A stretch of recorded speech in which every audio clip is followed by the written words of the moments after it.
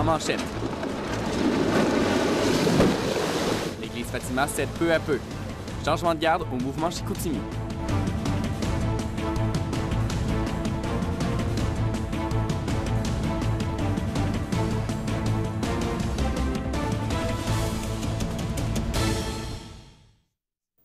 Bonjour mesdames et messieurs et bienvenue à ce web journal du jeudi 2 février 2017. Après deux jours et demi de travaux, la flèche de l'église Fatima est tombée à la vue des curieux qui s'attroupent depuis lundi matin autour de l'ancien lieu de culte. Tommy Brochu était sur place.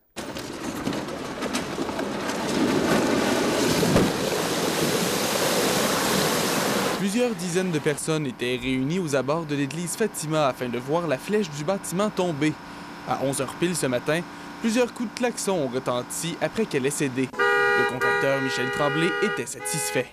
Oui, c'est une grande victoire. Je pense que tout le monde était content. Pour moi, les grutiers, euh, tout le monde sur le chantier, là, et, euh, je pense que tout le monde était vraiment content. Là. Ça n'a pas été facile, là. Euh, non, mais il faut dire que euh, c'est des procédures. Hein. C'est toujours des procédures. Il faut mettre la sécurité à plus haut risque, parce que c'est quand même ça- assez dangereux. Donc, ce matin, c'était long de se préparer, puis aller s'attacher, puis pour sortir d'une bonne procédure, que tout soit efficace. Plusieurs citoyens avaient hâte quant au dénouement de la saga Fatima. Je pense qu'il n'y avait plus grand-chose à faire. là. Les, les filets, il y en avait de moins en moins. Euh, c'est toujours l'histoire que tout, tout le monde change aujourd'hui, même les églises. là. D'autres vivent un moment de nostalgie, eux qui ont vécu de beaux moments à l'intérieur de l'ancien lieu de culte. Plusieurs ont vu un mariage, un baptême ou même des funérailles. J'aime pas ça pas tout. Non, c'est. C'est pas le fun d'avoir tombé, elle tombe trop tranquillement. On dirait que ça fait. Ça fait un spectacle inutile. Mais faut s'y faire. hein. Ça peut pas se débâtir en une journée, c'est impossible. Le pire est maintenant fait du côté de l'église Fatima, alors que la pointe de l'église a tombé sous le pic des démolisseurs ce matin. Il reste maintenant à débâtir le reste de l'église et à ramasser le tout, une opération qui devrait durer environ un mois. Tommy Brochu pour ATM Nouvelles, à Saguenay. Une nuit mouvementée pour les policiers de Saguenay. Un homme de 18 ans a été intercepté par les policiers de Saguenay après avoir séquestré et blessé sa belle-sœur la nuit dernière. L'homme s'en est pris à la victime avec une bouteille de vitre cassée. La femme qui a pris la fuite a réussi à avertir les policiers qui ont intercepté l'homme fortement intoxiqué près de son logement. L'individu a a comparu aujourd'hui pour répondre à plusieurs chefs d'accusation, dont séquestration et menaces. La police de Saguenay mène présentement une enquête conjointe avec la GRC et la Sûreté du Québec concernant un homme qui aurait tenu des propos haineux et inquiétants sur les réseaux sociaux. Le propos aurait un lien avec l'attentat de Québec survenu dimanche. Les policiers rappellent l'importance du public dans de telles situations. On écoute le porte-parole du service de police de la ville de Saguenay, Bruno Cormier. Si vous euh, remarquez qu'il y a des propos menaçants ou haineux dans l'écriture, entre autres, des réseaux sociaux, ben, communiquez avec notre service. On va faire en sorte de faire la vérification et s'il y a lieu, ben, on, on enquêtera. Les policiers de Saguenay ont également effectué un déploiement policier aujourd'hui en raison de l'enquête concernant Dominique Néron, un jeune homme recherché pour un crime avec violence.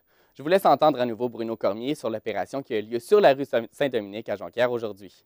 Ben, en fait, euh, vous savez sûrement qu'on est à la recherche de- d'un dénommé Dominique Néron et euh, on avait reçu euh, une certaine information. Est allé euh, vérifier euh, certains appartements, puis ça s'est avéré négatif.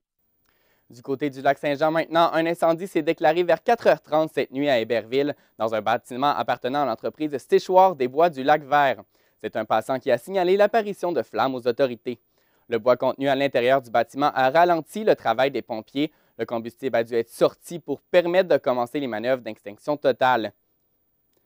Construction immobilière GD Incorporée et AR Construction s'associent dans le projet Déco-Quartier, domaine luxuaire récréatif dans l'arrondissement de Chicoutimi. La construction de la première phase du projet d'une valeur de 58 millions de dollars débutera en mai. Ma collègue, ma collègue Josiane Bérubé s'est entretenue plus tôt aujourd'hui avec le promoteur Gilles Dufour.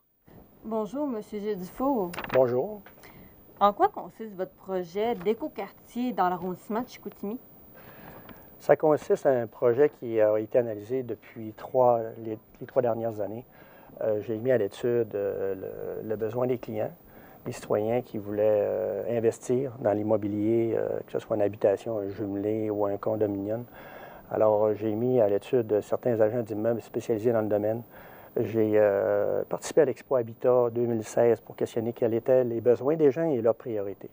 Alors, on pourrait dire que les saines habitudes de vie, ce qui est tendance aujourd'hui, est très important. La personne qui doit demeurer à son habitation sans prendre son véhicule, accéder à des situations plein air comme huit activités, a pu très bien le faire. J'ai disposé, euh, j'ai acheté 9 millions de pieds carrés aux côtés du terrain de golf de Chicoutimi, le plus beau terrain de golf au Saguenay-Lac-Saint-Jean. Et puis, dans les 9 millions de pieds carrés, il y a 1,5 million qu'on peut bâtir des habitations. Maintenant, le 7,5 millions qui reste, c'est le terrain de jeu pour adultes, pour enfants. J'ai développé des circuits de sentiers de vélo de montagne par le meilleur constructeur de sentiers de vélo de montagne, qui est Éric Maltais, au Québec. Et puis, de ces sentiers-là, on peut s'amuser à faire euh, de la randonnée pédestre, euh, du ski de fort-piste, du fat bike, vélo de montagne. Euh, D'un peu tout, dans le fond. Oui, tu peux partir avec ton sac de golf. Tu as fini de souper, là, on va s'amuser en famille. S'il y a quelqu'un qui fait de la motoneige ou du 4 roues, il y a un sentier provincial de motoneige qui est à 800 mètres du site. Alors, c'est de tout. On voulait, je voulais être à l'écoute des gens pour que ce soit un succès. Alors, j'ai décidé d'investir 58 millions euh, en trois phases, à laquelle c'est relié uniquement aux saines habitudes de vie des gens. Et justement, dans, dans, les médias, on, euh, on, dit que les constructions vont euh, avoir la norme LEED. Qu'est-ce que c'est en fait? La norme LEED, c'est un des concepts particuliers. Les gens veulent avoir une très haute qualité. C'est important pour eux. Alors, ce qui existe comme norme mondiale, euh, qui est très connue en Asie, en Europe, puis aux États-Unis depuis 15 ans, c'est une norme LEED à laquelle le bâtiment est ultra isolé, ultra hermétique. C'est des normes très sévères à ce sujet-là, sans moisissure, sans produits, des volatiles, des cols qui, euh, sont toxiques, il n'y en a pas. C'est tout euh, biodégradable. Alors, au niveau des consommations énergétiques, l'eau potable est réduite tout près de 50% avec des techniques de, plomberie en conséquence. Il y a un surcoût à ça, mais la ville Saguenay, depuis un an, on a travaillé ensemble pour que la ville Saguenay puisse payer le surcoût par des crédits de taxes qui vont durer pendant cinq ans. Pendant les deux prochaines années, ils ne paient pas de taxes. Les troisième et quatrième années, ils payent la moitié des taxes et la cinquième, 25% Alors, tout ce surcoût, c'est un exemple d'une maison de 300 000, la Ville va donner l'équivalent d'un 10 000 Il y a Nova Climat 2, qui est la norme qui est déjà acquise lorsque tu es lead, qui vont donner 2 000 de subvention. Fait que tout le surcoût va être une réduction du coût du bâtiment et puis, à la fin du mois, quand la personne vient pour faire un paiement de, pour un 300 000 d'hypothèque, il va payer 6% moins cher parce qu'il paye moins cher d'Hydro-Québec, l'énergie électrique. Euh, Justement, le, marché immobilier euh, au Saguenay est un peu surbondé. Est-ce que vous avez des craintes par rapport à ça, puisque vous allez quand même construire 300 unités d'habitation, ce qui est quand même beaucoup? Le 300 est relié sur un échelon de entre 5 à 7 ans.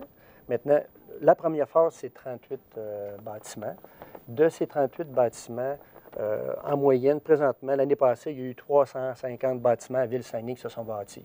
Alors, 38 dans un projet qui se démarque beaucoup. On voit là tout de suite, euh, là, j'ai débuté ma publicité, mais la semaine passée, avant de lever ma publicité, j'avais cinq terrains clés en main de vendus.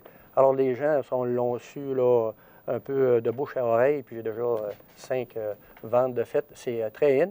Quand tu donnes à un client ce qu'il veut, euh, il est prêt à, attendre et investir en conséquence. Puis la valeur de revente d'une maison lead, c'est entre 8 à 22% supérieur par rapport à une maison conventionnelle. La personne qui veut revendre rapidement, elle va pouvoir le faire avec un haut prix parce que c'est une maison de très haute qualité. Combien ça va coûter justement pour une unité?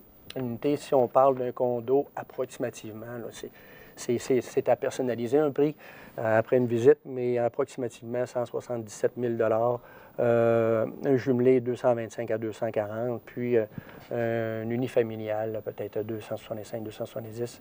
Alors, les prix sont très compétitifs. C'est un des concepts à laquelle, pour le client, c'était une exigence non négociable. Alors, ce que j'ai fait, j'ai, je voulais avoir, les gens voulaient avoir des grands terrains boisés et puis les prix peuvent être jusqu'à 7,5 du pied carré. Fait euh, au niveau du terrain, c'est euh, très compétitif. Au, niveau de l'habitation, ce que j'ai fait, j'ai priorisé AR Construction, qui est notre partenaire à laquelle... Euh, rapidement, justement, comment votre projet se démarque?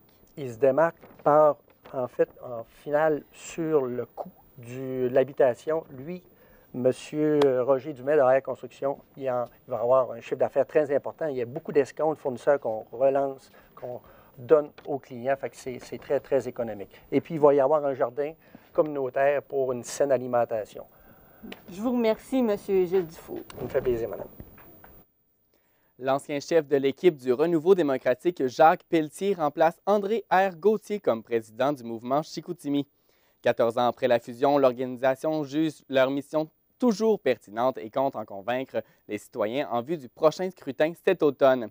Raphaël Drouin, après 14 ans, c'est un moment charnière pour l'organisation qui, souhaite changer le nom de la ville. Ben oui, effectivement, euh, Thomas. Euh, comme vous l'avez dit, André R. Qui laisse sa position en tant que président euh, afin qu'il y ait du nouveau sang dans, dans l'organisation. C'est les mots qu'il a utilisés. L'organisation nous a aussi avoué qu'après 14 ans, ben, ils arrivaient à une sorte d'impasse. Donc, il fallait choisir est-ce qu'on abdique complètement ou est-ce qu'au contraire, on continue et on mène le combat encore plus fort? Et c'est la deuxième option qu'ils ont choisie. On se rappelle qu'il euh, y a 14 ans, la fusion a, créé la ville qu'on a nommée Saguenay. Et euh, ben, ça, c'est une erreur euh, monumentale selon le groupe de, de, mouvement Chicoutimi, pardon, qui, eux, souhaitent nommer la ville Chicoutimi. Et qu'est-ce que les nouveaux membres souhaitent apporter à ce débat? Eh bien, pour 2017-2018, on veut changer la stratégie, donc changer les champs d'action. Entre autres, bien, euh, on veut faire connaître l'historique des noms, la toponymie du mot Chicoutimi, la toponymie du mot Saguenay. Euh, on veut euh, créer une discussion. on va entre autres faire des conférences. On écoute le nouveau président, M. Jacques Pelletier. Si les gens avaient pu prendre un peu plus connaissance des faits historiques concernant le nom Saguenay, ben, ils s'apercevraient aussi que c'est peut-être, euh, il verrait à ce moment-là que notre, euh, imaginaire a joué beaucoup dans l'histoire du Saguenay et que le fameux royaume du Saguenay, il n'y a personne qui a mis le pied. Et est-ce que le plan de mouvement Chicoutimi peut être influencé par les prochaines élections municipales? Bien, c'est certain qu'il y a un aspect politique à tout ça. Hein. C'est le conseil de ville qui a euh, un peu le dernier mot là-dessus. Mais on ne veut pas mettre de pression euh, euh, pour que ça fasse partie de la discussion des prochaines élections. On ne veut pas qu'il y ait d'engagement qui soit pris. On écoute encore une fois Monsieur le Président. Actuellement, il y a une légitimité de, de se repositionner puis de dire maintenant, prenons le temps, réfléchissons à ça. Je ne m'attends pas à ce que le conseil municipal arrive le, lendemain des élections, puis qu'au premier conseil d'administration et le premier conseil de ville, euh, qu'on discute à ce moment-là d'une proposition pour changer le nom de la ville. Merci beaucoup, Raphaël. Le service de sécurité incendie de la MRC Maria Chapdelaine sont activement à la recherche de 25 pompiers à temps partiel. Les directeurs du service incendie Jerry Piquette et Daniel Quentin expliquent que la situation dure depuis, depuis depuis plus de cinq ans. Donc, ils expliquent que cette situation ne nuit en aucun cas à la sécurité des habitants. Donc, les deux directeurs invitent les jeunes hommes et les jeunes femmes à, se poser candidats afin de répondre aux besoins des casernes de la région. Des maires du Lac-Saint-Jean dénoncent les hausses salariales de trois cadres de la MRC Lac-Saint-Jean-Est. Le salaire du directeur général passera de 118 à 127 000 par année, une manœuvre pour atteindre une similitude avec la MRC du Fjord du Saguenay, où le directeur général gagne quant à lui 132 000 par année. Le, maire de Métabetchouan, la Calacroix, Laurence Potvin, est totalement en désaccord il relate que Lac-Saint-Jean-Est gère 35 employés de moins que son voisin du Saguenay. Donc, il précise que l'augmentation de 7,5 du salaire des cadres est un peu exagéré, considérant que le secteur public a obtenu 0,5 d'augmentation. Donc, à quelques heures de l'ouverture du festival Saguenay en neige, l'organisation en est à ses derniers préparatifs. Marie-Gabrielle Gagné a rencontré les sculpteurs derrière les décors de neige de cette 33e édition. Son reportage. Thomas Meloche et son équipe s'affairent à finaliser les décorations pour la 33e édition de Saguenay en neige. Depuis maintenant 10 ans, le fondateur de l'entreprise Sculpteur élémentaire est le responsable de ces gros monuments qui ornent le parc de la Rivière au Sable le temps de quelques jours. Ces 19 années d'expérience dans le domaine de la sculpture qui ont débuté au cégep de Jonquière lui ont permis d'apprendre différentes techniques dont celle utilisée pour la sculpture de neige. C'est que tu vois ton dessin dedans, puis là, tu enlèves ce qu'il y a autour pour trouver euh, le bijou. La neige utilisée provient d'un stationnement jugé propre. Cette dernière est soufflée dans un moule et ensuite barattée deux fois pour devenir de la neige qui se densifie bien. Les blocs sont acheminés à leur destination finale pour être sculptés. À titre d'exemple, les glissades de cette édition contiennent 22 camions de 10 roues de neige. Mais avant de sculpter, un long processus attend les artistes. Un coup que notre idée est bonne, qu'on sait que c'est ça qu'ils ont fait, ben là, on envoie nos pleins sites. Que c'est accepté, là, on travaille. C'est plusieurs, c'est chacun fait leur affaire. Tout, on a fait en argile. On sculpte en argile devant, pour donner une bonne idée à trois dimensions, là, euh, en 4D. Là, puis quand on arrive sur le bloc, ça facilite un peu. Le concours est court, hein? Trois jours, il euh, faut savoir ce qu'on s'en va. La température est aussi un défi important pour les sculpteurs. La pluie autant que les froids intenses peuvent compliquer la tâche déjà ardue. Cette semaine, il annonce moins 15. C'est parfait. Euh, tant qu'il n'y a pas de grosse pluie, c'est surtout, surtout la pluie qui, est, qui est dommageable parce que quand il mouille, là, t'as de la misère à travailler parce que t'as de la misère à faire tes surfaces. Mais là, après ça, quand ça regèle le lendemain, toute ta sculpture est rendue hyper raide. Puis là, elle est dure, dure, dure, dure, dure. Nous autres, on a un côté, il était vraiment au soleil la semaine passée, puis c'est du béton. En plus de réaliser les décorations pour l'événement, les artistes participeront au concours professionnel. Divisé en trois catégories, scolaires, amateurs et professionnels, cette compétition attire de plus en plus de participants. On constate depuis les dernières années que euh, nos inscriptions sont vraiment en hausse. Nous, évidemment, on est limité par l'espace, mais euh, les demandes sont de plus en plus nombreuses et puis on a des, euh, des sculpteurs de vraiment partout dans la province qui s'inscrivent et de plus en plus des sculpteurs de l'extérieur de la province qui, qui s'informent et qui, qui, qui commencent à démontrer un intérêt pour venir sculpter ici à Saguenay. En nouveauté cette année, Saguenay en neige s'est jumelé avec le prestigieux événement de sculpture sur neige de Valoir en France. Un échange sera effectué alors que l'équipe québécoise gagnante ira faire une démonstration de l'autre côté du continent et que l'équipe européenne démontrera son talent dans la région. Dès ce soir, il sera possible d'admirer les sculptures réalisées par les étudiants dans la catégorie scolaire. Ce sera ensuite au tour des amateurs et des professionnels de se mettre à l'œuvre. Saguenay en neige aura lieu jusqu'au 12 février ici au parc de la Rivière aux Sables. Marie-Gabrielle Gagné, ATM Nouvelles, Saguenay. Une manifestation contre le projet GNL Québec s'est déroulée vers 10h30 ce matin. Une vingtaine de personnes réunies devant le port Grand-Anse formaient une grande barrière pour ce projet pour s'opposer au développement. Le projet GNL Québec vise à créer une, installation de liquéfaction, d'entreposage et de transportement de gaz naturel, un projet estimé à 7,5 milliards de dollars. Le sommet social régional 2017 qui aura lieu le 21 avril prochain à Alma a pour but de prendre un plan d'action en ce qui a trait au développement social de la région. Le regroupement des citoyens Forum social régional 02 en a effectué le lancement officiel ce matin à Chicoutimi. Félix Masson explique. Aujourd'hui euh, le sommet social régional c'est à la boîte à Bleuet d'Alma qu'aura lieu le sommet social régional 2017. Cette consultation populaire vise à interpeller toutes les organisations et les personnes sur la question du développement social de la région. L'événement portera sur quatre grands thèmes, la lutte à la pauvreté et l'exclusion sociale, l'économie solidaire et sociale, l'intervention communautaire et la gouvernance participative régionale seront notamment à l'honneur. Selon le coprésident du Forum social régional, Vincent Gagnon, l'activité a pour but d'avoir une vision globale de la situation sociale, culturelle et économique de la région, ainsi que de son avenir. C'est inspiré de la démarche du sommet social, ben, du sommet économique qui a eu lieu l'an passé. L'objectif est de produire un plan d'action en lien avec les principales préoccupations qui ressortiront des discussions. L'organisation souhaite aussi que ce plan d'action permette aux principaux acteurs régionaux d'avoir une vision partagée du développement social du Saguenay-Lac-Saint-Jean. L'initiative souhaite donner une réelle voix aux citoyens et aux gens engagés dans leur communauté et préoccupés pour son avenir. C'est les citoyens engagés comme la gouvernance participative régionale, c'est savoir comment la population, la société civile, les citoyens engagés peuvent participer à ce développement-là. Comment que, au niveau de l'organisation, les gens peuvent s'impliquer? L'organisation du forum invite les citoyens à soumettre un court mémoire de deux à trois pages parmi les quatre principaux thèmes de l'événement d'ici le 3 mars prochain. Ces mémoires alimenteront les discussions lors de l'activité le 21 avril. Félix Masson, ATM Nouvelle, Saguenay une représentation spéciale de la pièce de théâtre Brou au profit du 150e anniversaire de la ville d'Alma a lieu ce soir à la salle Michel Côté. Ma collègue Joanie Lemelin a rencontré et s'est amusée en compagnie des trois comédiens plus tôt aujourd'hui. Michel Côté, Marcel Gauthier, Marc Messier, bonjour. Bonjour, bonjour, bonjour. Donc, premièrement, je voudrais savoir pourquoi avoir décidé de faire un spectacle pour le 150e d'Alma? Ben, parce que, d'abord, on, nous l'a proposé. Les, Michel et Marcel sont natifs d'Allemagne, ils ont grandi ici. Leur famille habite encore ici, donc ils sont très impliqués dans, la ville et tout ça. Et moi, je n'avais pas le choix, en fait. Mais, euh, mais euh, non, moi, je suis... euh, non, mais euh, c'est ça. Les gars viennent d'Allemagne, ils nous ont demandé, ça nous fait plaisir d'être là, vraiment, parce qu'Allemagne a toujours eu une place spéciale dans notre cœur, parce que... moi, j'en ai entendu parler beaucoup au fil des années.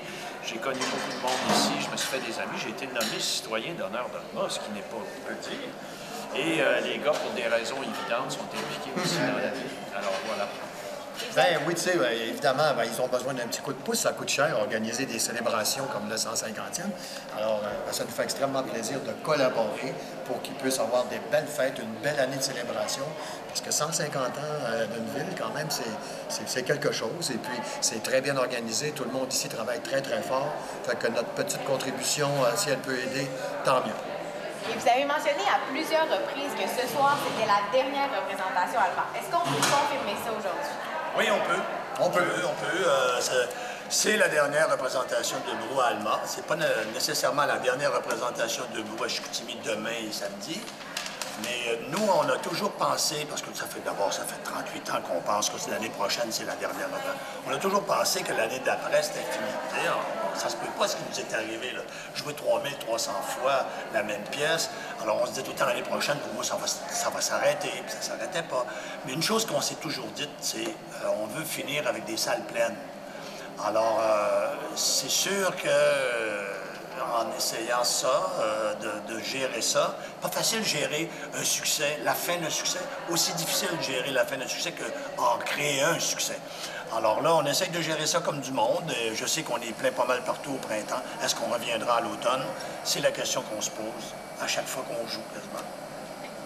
Et là, ce soir, c'est un spectacle pour le 150e de la ville d'Allemagne. Est-ce que le spectacle va être aux couleurs de l'histoire d'Allemagne?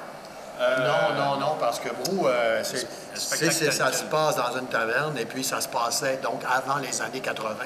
Et il faut que, ça, il faut que ça demeure comme tel. On ne peut pas actualiser parce qu'à ce moment-là, on serait complètement anachronique et puis la pièce ne tiendrait plus debout. Alors non, nous, on va jouer Brou le plus sérieusement qu'on peut, bon, en s'amusant aussi, j'espère, et puis euh, en espérant que le public passe une très, très belle soirée. Puis ça va être ça, notre, notre spectacle du 150e. Sinon, on sera obligé de répéter après-midi, puis Ouais. jouer d'autres pièces, puis on n'est pas vraiment dans cette euh, logistique-là. Parfait. Et là, je Ça a l'air qu'on fait un petit quiz. Oui, je Ah. sais. Est-ce que vous êtes prêts? Oui, oui, qui est le plus susceptible Ah, c'est de- une bonne idée. Donc, vous avez les trois noms. Vous avez Michel, vous avez Marcel et vous avez Marc. Oui. Et là, je vous pose des énoncés. Quand vous pensez que c'est la personne qui est le plus susceptible de, vous montrez la feuille. Donc, premièrement, qui est le plus susceptible d'arriver en retard? On fait ça, par exemple, euh, ça, ça, ça Faut part mal, en- parce faut qu'on en est nommer très aucun, aucun, les- aucun. Marc? Hein? Susceptible. Ah oui? Si, Non, si mais- jamais il y en avait un en retard, c'est jamais arrivé. Mais Ça puisqu'on sera peut-être, Marc. puisqu'on parle de ça, je vais vous dire une chose. Nous, on est très ponctuels. et ça a évité tellement de petites disputes et de petites chicanes niaiseuses parce qu'on est toujours, toujours à l'heure, tous les trois. Et c'est comme une loi non écrite dans notre groupe. Puis, euh, euh, puis c'est Je un, c'est métier. euh, Je m'excuse, je l'enlève, il a C'est raison. un métier où vraiment on peut pas être en retard. Le public, il est là, lui, à l'heure. On se doit d'être là avant eux, d'être prêt et de commencer quand c'est le temps. Ouais, mais si on commence en retard, c'est parce qu'on attend le public. Parce qu'il y en a qui ne sont pas arrivés. Donc, qui est plus susceptible de, re- de revivre sa jeunesse les soirs de tournée? de revivre sa jeunesse les soirs de tournée. Ça veut dire quoi, ça? Sortir, puis Sortir, faire son adolescent tardé. Ah, ben là, on a un beau choix, là. Moi, je dirais les trois jusqu'à une certaine année. Mais là, on est plus tranquille qu'on était. Mais à l'époque, euh, regarde, les trois. Oui. Ouais, euh, les trois. C'est difficile de départager là-dessus. Nous autres, on est les trois, je suis. Et après plus de 3000 représentations, je pense qu'on peut se le dire aujourd'hui, qui est le plus susceptible d'être désagréable en tournée? Ah, Là, il aurait fallu Ah. ajouter le nom de certains techniciens. Là, ça- on peut-tu dire aucun des trois? Il faudrait qu'on déchire nos papiers à ce moment-ci. Non, non, non, c'est juste la dernière question. Écoute, tu aurais pu aller plus loin avec ce jeu-là. aller Hein? plus loin. Ah, j'en ai une dernière. Qui c'est qui boit le plus de bière? Qui c'est qui boit le plus de... Qui c'est qui mange qui c'est qui se peigne le plus souvent? Qui c'est qui se peigne le plus souvent? Qui va se donner plus ce soir sur la scène de la salle Michel Côté? Qui va se donner le plus? Ouais. Se donner le plus? Les trois, tu le sais bien. Non, les gars, regardez, c'est facile. Tu le sais bien. Votez pour vous. Les trois, qui hein. c'est qui va Moi, verser je une vote- larme? moi, je Qui vote va pour verser moi. une larme? Qui est le plus susceptible de verser une larme ce soir? Ah ben oui. OK? Oui. Pose-nous la question. Qui est le plus susceptible, M. Messier, de verser une lampe ce soir? Ah ben écoute, on le sait tous, là, là-dessus.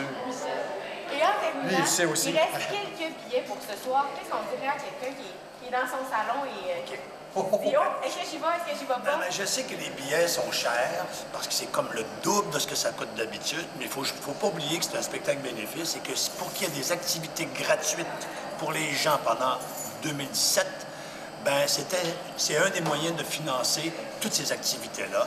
Et puis, si vous voulez voir une, si avoir une- la chance de voir pour la dernière fois Alma Brou, si vous ne l'avez jamais vu, ben ça va coûter ça. C'est pas gênant pour nous de dire ce que ça coûte parce que c'est pour la ville d'Alma, c'est pour les gens, c'est pour qu'il y ait des activités gratuites. Alors, faites un effort parce que je ne sais pas combien il reste de places. Quelques-uns, peut-être moi, quelques places. Mais nous, on n'est pas habitué de jouer dans une salle pas pleine.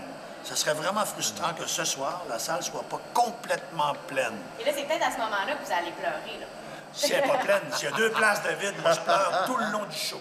Et merci beaucoup de votre Merci à vous. euh, Merci à toi, très original ton petit et concours. bonne, euh, bonne carrière journalistique. Oui. Produits forestiers résolu termine 2016 avec une perte nette de 81 millions de dollars, soit 90 sous par action. L'entreprise a toutefois connu une diminution de son déficit comparativement à l'année dernière où la perte était trois fois plus importante avec 257 millions. C'est le secteur du bois d'œuvre qui aura été le plus performant en multipliant par 35 son bénéfice, atteignant les 39 millions comparativement à seulement 2 millions en 2015. La production de papier journal aura été la seule filiale de l'entreprise à afficher un déficit d'exploitation. Le chef de la direction de PFR, Richard Garneau, ne prévoit pas d'investissement majeur ni de fermeture d'usine pour 2017. Une délégation du programme Arts et technologies des médias volet communication du Cégep de Jonquière a participé à la 25e législature du Forum étudiant le mois dernier. Cette simulation par- parlementaire immerge des jeunes dans la vie mouvementée des parlementaires québécois à l'Assemblée nationale. Les trois jeunes femmes qui ont participé à cette édition se disent ravies de leur expérience. On écoute celle qui a tenu le rôle de chroniqueuse, Camille Boutin. Je voulais aller voir ce que c'était parce que quand on est jeune, on porte pas vraiment attention. Donc euh, vraiment cette expérience-là, ça m'a permis d'aller voir ce que c'était réellement, d'être là, de pouvoir comprendre.